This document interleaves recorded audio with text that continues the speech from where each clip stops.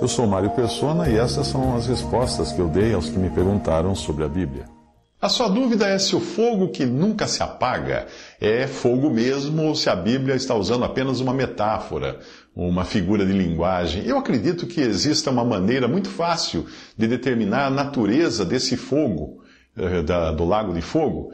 E esta maneira é indo à origem do que é o lago de fogo, às vezes traduzido, traduzido como inferno em algumas Bíblias. E qual foi a intenção de Deus quando criou tal lugar ou condição. Jesus, em Mateus 25, 41, responde a essa questão. Ele diz: Então dirá também aos que estiverem à sua esquerda: Apartai-vos de mim, malditos, para o fogo eterno, preparado para o diabo e seus anjos. Bom, se é algo que foi preparado para o diabo e seus anjos, podemos ter certeza de que não é o mesmo tipo de fogo que nós produzimos com lenha, gás ou até explosão atômica. Satanás e os seus anjos são seres espirituais e incorpóreos, a menos que assumam a forma humana para enganar, como nós os vemos fazendo em algumas passagens da Bíblia. Mas eu, particularmente, entendo que um anjo poderia atravessar a bola de fogo de uma explosão atômica e sair do outro lado sem ficar sequer chamuscado. Um anjo, um anjo pode surfar nas ondas de fogo do sol e não acontecer nada para ele. Então é evidente que Deus usou de realidades do mundo material para fazer uma ponte e entendermos realidades espirituais e realidades eternas, porque o lago de fogo é eterno, quando já não existirá mais a matéria como nós os conhecemos e o tempo como nós o conhecemos. O próprio Senhor fez muito disso nas suas parábolas, e o tabernáculo no Antigo Testamento era todo ele com seus utensílios sendo figuras de coisas celestiais que fugiriam à compreensão humana se Deus tentasse mostrá-las para o homem com a sua mente criada para a terra. Ao invés de explicar em detalhes isso, eu vou até convidar o autor Hugo Balter Jr. para fazer essa explicação, já que ele publicou um texto muito bom a respeito desse assunto. O, no, o título do texto é O Castigo Eterno. Ele escreve o seguinte: O que as Escrituras dizem concernente à natureza do castigo eterno? Os cristãos que levam a Bíblia a sérios creem na natureza perpétua do castigo eterno.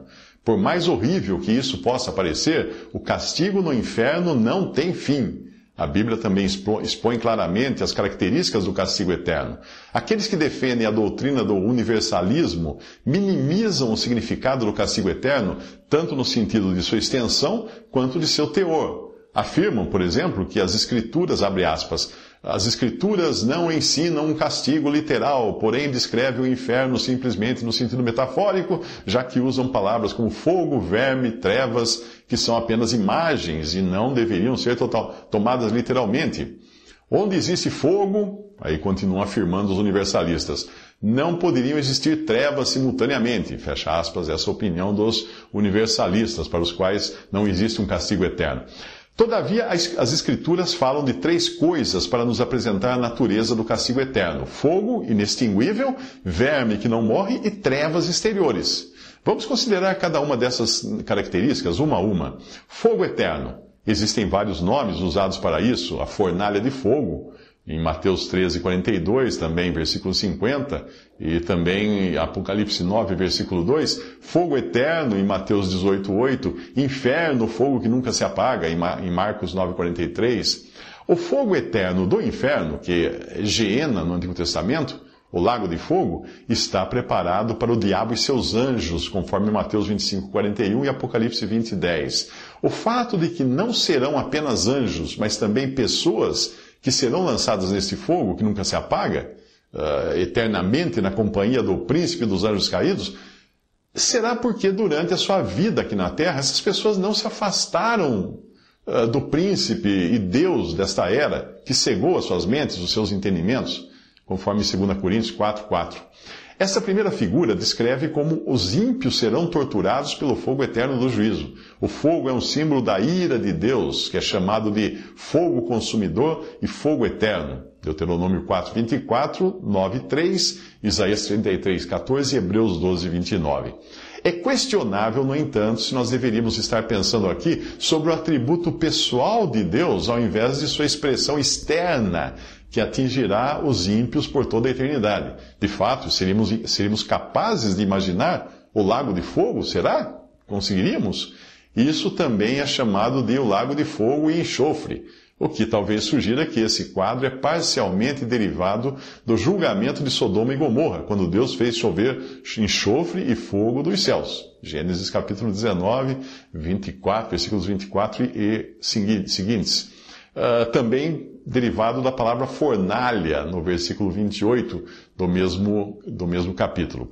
Embora seja correto dizer que a Escritura usa a linguagem figurada para descrever a realidade, a realidade do céu e do inferno, isso não altera de modo algum o fato de que estamos lidando com a existência literal de lugares e coisas reais. Essas imagens são emprestadas da nossa realidade terrena para nos dar uma compreensão de outra realidade sobrenatural. Por exemplo, o nome Geena, inferno, foi derivado do vale do filho de Enon em hebraico, Gerinon, perto de Jerusalém, onde crianças foram queimadas como sacrifícios para Moloque e onde, após as reformas de Josias, todos os tipos de imundícies foram coletadas e queimadas. Você encontra isso em 2 Reis 23, 10, 2 Crônicas capítulo 28, uh, eh, também capítulo 33 e Jeremias capítulo 32 o lugar onde o verme não morre, outra expressão usada no Evangelho.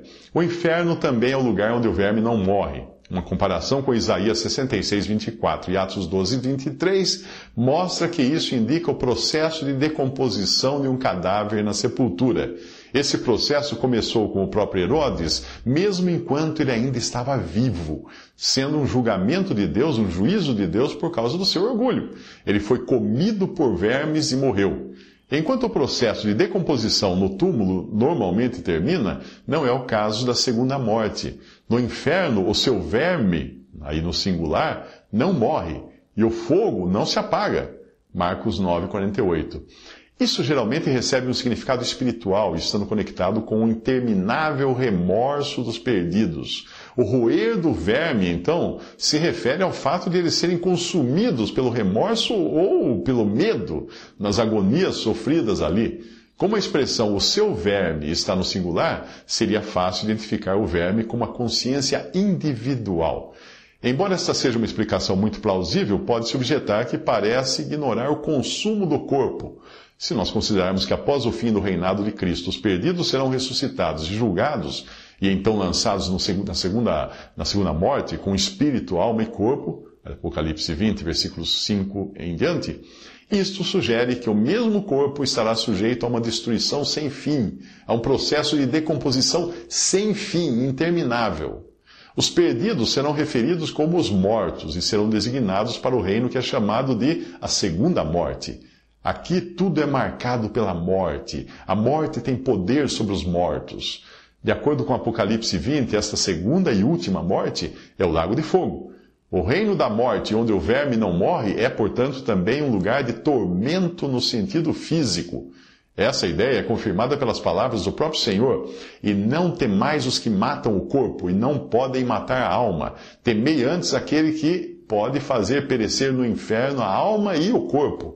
Mateus 20, versículo 28. Trevas exteriores, o outro termo. A terceira figura dada é aquela das trevas exteriores, onde há choro e ranger de dentes. Isso está em Mateus 8, Mateus 22, Mateus 25, 2 Pedro 2 e Judas 13. Essa figura também foi tirada da realidade terrena. Dentro do salão de banquetes existe alegria e luz, mas fora é noite e aqueles que estão lá fora não compartilham da alegria dos que estão lá dentro. Essa figura mostra o nítido contraste com a atmosfera de alegria e luz na casa do Senhor, no seu reino, pois esta é a sala de banquete, onde a festa de casamento é realizada e onde a comunhão com Deus é desfrutada. Deus é luz e não há nele treva nenhuma. 1 João 1,5. Os incrédulos, por sua vez, foram removidos deste reino de luz e amor Assim como as virgens loucas, elas estão na escuridão, diante de uma porta fechada. Mateus 25. E assim como Judas, elas saem pela noite. João capítulo 13. estão separadas de Deus para sempre e vivem nas trevas, longe de sua face gentil. Nesse lugar de escuridão exterior não há sequer um raio de luz a ser visto e não há mais esperança nem expectativa. Há apenas uma escuridão impenetrável. É um lugar de choro, de sofrimento eterno. Há também ranger de dentes. Isso pode se referir não apenas ao remorso, mas também à raiva, uma eterna rebelião contra Deus. Choro e ranger de dentes são certamente características tanto da escuridão exterior quanto da fornalha de fogo. Mateus 13, 42 e versículo 50. Isso indica claramente que as duas figuras, a do fogo e da escuridão, são aproximadamente a mesma realidade aterradora. Embora seja chocante isso, é benéfico refletir sobre essas coisas, pois isso nos ajuda a perceber até certo ponto o quanto o Senhor deve ser temido. 2 Coríntios 5, versículo 11. E essa consciência nos leva a, a persuadir a outros. Como já foi mencionado, essa terceira imagem do castigo eterno levanta a questão de como as trevas exteriores podem ser combinadas com o fogo inextinguível da primeira imagem. O fogo se espalha e onde o fogo queima não pode ser escuro.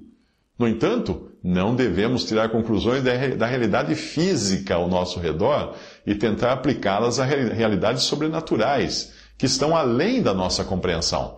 Por outro lado, nós devemos certamente levar a sério os conceitos indicados por essas imagens. Por exemplo, não limitando as trevas a algo como escuridão moral. As Escrituras usam claramente essas imagens aparentemente contraditórias para nos dar uma impressão, a partir de diferentes pontos de vista, da seriedade do castigo eterno. Isso aí então é um texto de Bolter, uh, que, que, eu extraí, traduzi da, da publicação Truth and Testimony, volume 2, de 1993. Visite respondi.com.br. Adquira os livros ou baixe e-books. Visite 3minutos.net. Baixe o aplicativo